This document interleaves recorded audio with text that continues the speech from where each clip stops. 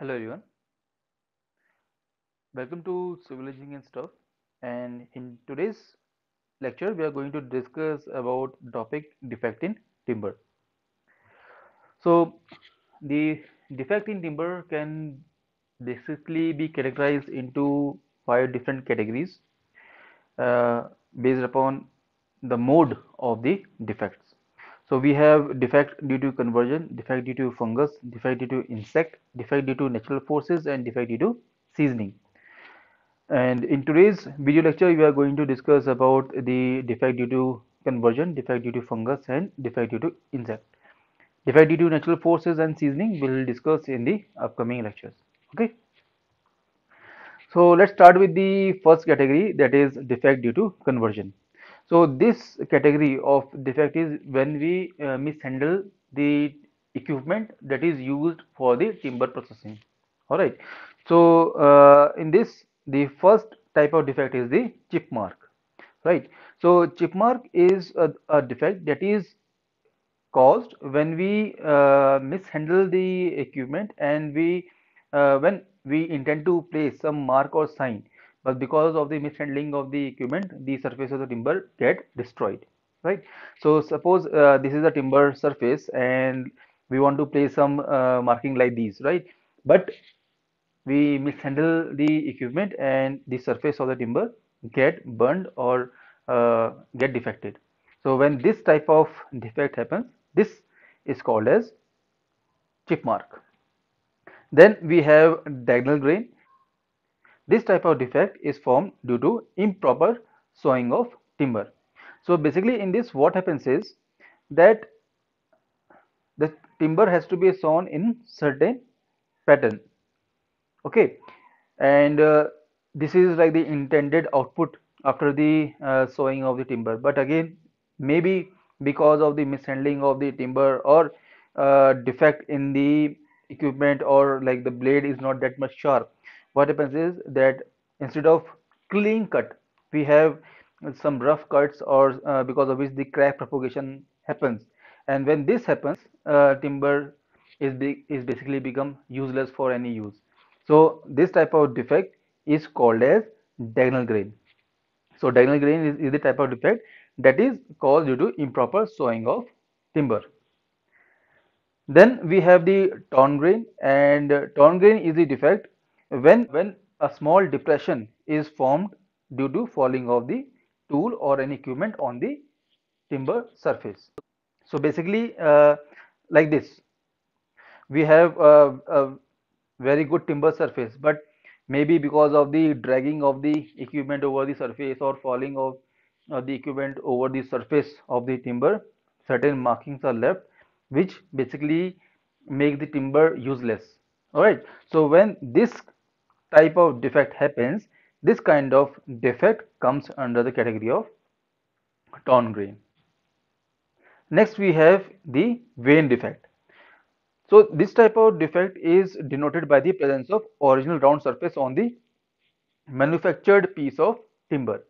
Okay, so basically what happens is that instead of uh, having a very crisp, very precise, uh, well sewn edges, because of mishandling of the equipment or defect in the equipment, the round surface is obtained on the timber or manufactured timber like this.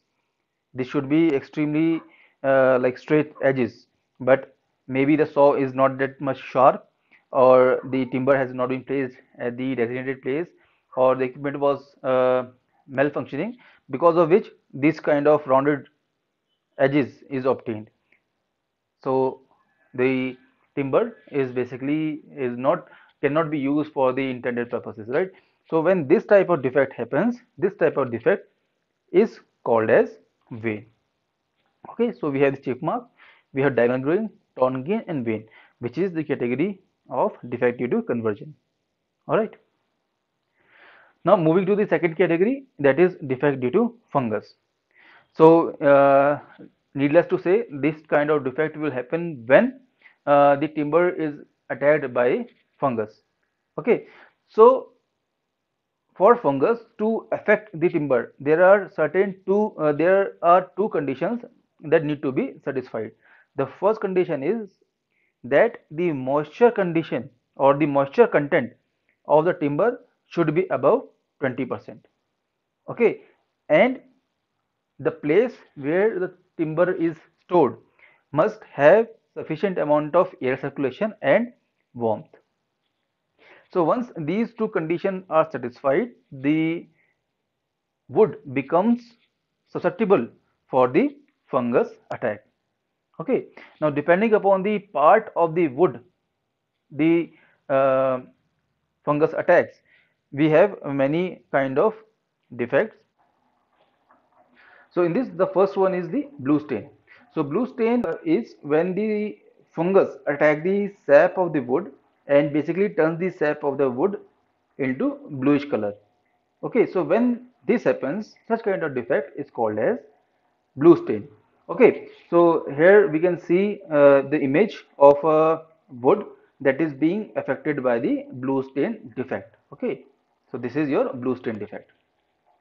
Then we have the brown rot and brown rot is when the fungus attack the cellulose compound of the wood right? When they attack the cellulose compound of the wood. And by attacking the cellulose compound they rottens the wood. So this kind of defect is called as the brown rot. So this is the example of brown rot where the fungus attacked the cellulose compound basically made the wood weak and unuseful for desired purposes. Then we have dry rot and basically dry rot occurs when the timber is stored in a area in a surrounding that has good amount of moisture but there is no free circulation of air. And the wood that is stored is unseasoned wood. Okay. So because of this unseasoned wood and having no free circulation of air in that condition the wood that is stored in such condition starts to rot and becomes unfit for the use. Okay so it like the wood becomes unfit for the use and this kind of defect is called as the dry rot. Next we have the heart rot. And heart rot is the uh, is the fungal disease when the fungus attack the center of the wood. Okay so when the fungus attacks the center of the wood trunk or the branches this defect is called as the heart rot. So here we can see that the fungus has attacked the center of the wood. This piece of wood has become unfit for any engineering purpose or for any manufacturing purposes. Right. So this is called as the heart rot. Then we have the sap stain and basically in sap stain what happens is complete decay of timber does not take place right? And the fungus attack the sap of the wood. And because of uh, that attack of the sap of the wood the sap starts to lose its color. Okay so again because of this the timber is unfit for any intended purposes. So again here we can see that the timber has attacked the sap of the wood making it like totally unfit for any purposes. Next we have the wet rot so basically in the wet rot uh, chemical decomposition of the wood takes place. And this happens when the timber is stored in a place which is subjected to alternate wet and dry conditions.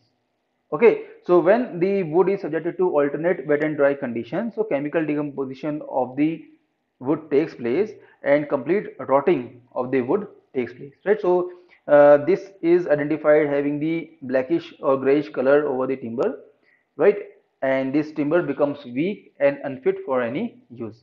So this kind of defect is called as the wet rot. Next we have the white rot and in the white rot what happens is the fungus attack the lignin of the wood.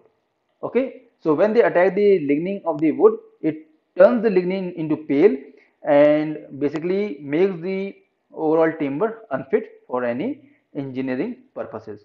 So when the fungus attack the lignin of the wood, turns the lignin into a very pale whitish color and thus this is called as the white rot. So one thing that you, you should always remember is what in, in fungus attack in exact defect what kind of fungus attack the which part of the wood right so in the blue stain sap of the wood is being attacked by the fungus. In the uh, brown rot the cellulose compound of the wood is being attacked right?